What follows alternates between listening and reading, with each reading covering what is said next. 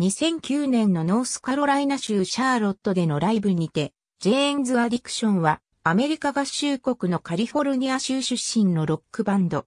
REM、ピクシーズ、レッドホットチリペッパーズらと共にオルタナティブロックの土台を作り上げた。1985年、ロサンゼルスでボーカルのペリー・ファレルを中心に結成される。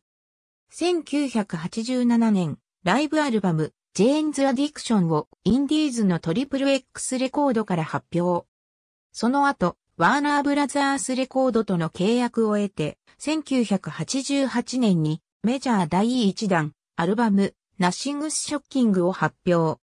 メジャー第2弾、アルバム、リテュアル・デロ・ハビテュアルが大ヒットする。1991年に解散し、ペリーとスティーブンはポルノ・フォー・パイロスで活動し、デーブは一時期、レッドホットチリペッパーズに在籍していた。1997年にフリーを迎えた編成で短期間だけ再結成して新曲も含むコンピレーションアルバムケトル・ホイッスルを発表。2001年に新しいベーシストとしてクリス・チェーニーを呼び再結成する。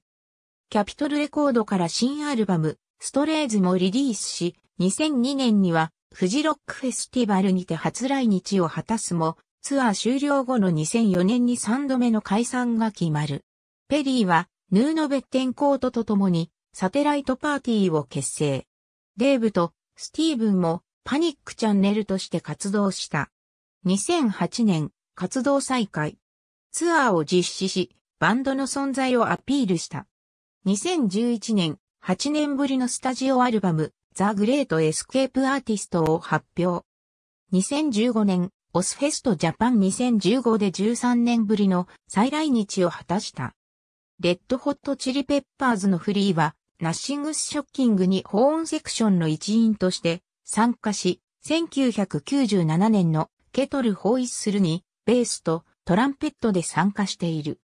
2010年4月1日、元ガンズローゼス、現ベルベットリボルバーのダフ・マッケイガンを公式メンバーとして迎えることが公式サイトにて発表された。ありがとうございます。